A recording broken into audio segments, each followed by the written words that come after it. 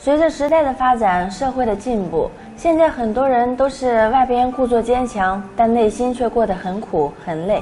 也许过得幸福不幸福，只有自己心里知道。一个女人幸不幸福，可以通过她的一些特征判断出来。以下是我总结的几点，送给那些婚姻不幸福的女人。不知道有没有说到你们内心深处？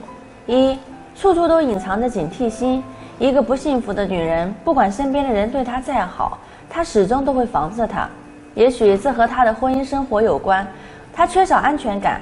所以，对每一个对她好的人都藏有警惕心，生怕哪一天因为自己的疏忽而使别人趁虚而入，从而会再次伤害自己。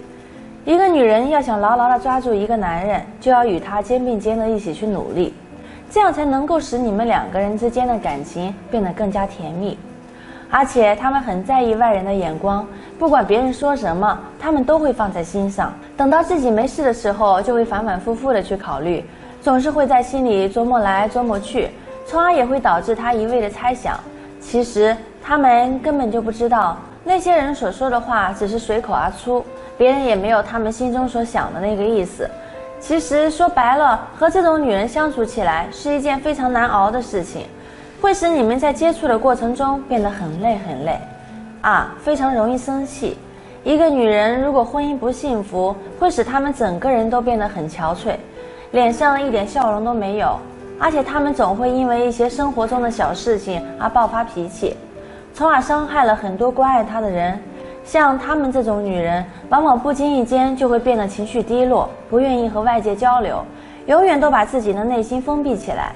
不管怎么劝说，他们都听不进去的。女人之所以婚姻不幸福，绝大部分都是来自丈夫的不疼爱，因为女人都是感性动物。她们都想得到一份真正属于自己的爱情。如果嫁给一个男人，这个男人每天都会对她忽冷忽热，从不会考虑她的感受，整天把她当成玩具，在需要的时候拿出来用，不需要的时候就会把他们扔到一边去。这样的女人就会变得情绪不安，和人相处过程中会发生冲突，容易产生易动怒的性格。往往这类人的交友社圈很平淡。因为他们自身的原因而使别人远离他。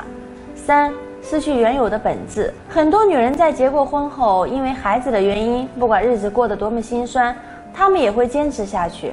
而且她们在结过婚后，觉得自己有了一辈子的靠山，就把自己的工作给辞了，安心在家里照顾孩子，照顾一家老小的衣食住行。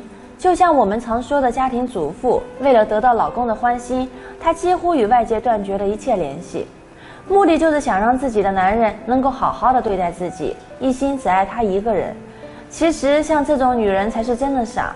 如果一个男人真心的喜欢你，他就会处处为你着想，而不是让你一味的去讨好他。你这样做只会让你男人觉得你就是他的累赘，从而会因为种种的理由而去嫌弃你。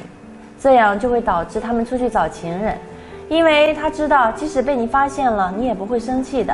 因为在他看来，你已经深深的爱上了他，根本离不开他了，所以这样就会使他变本加厉的伤害你，从而不会去考虑你的感受。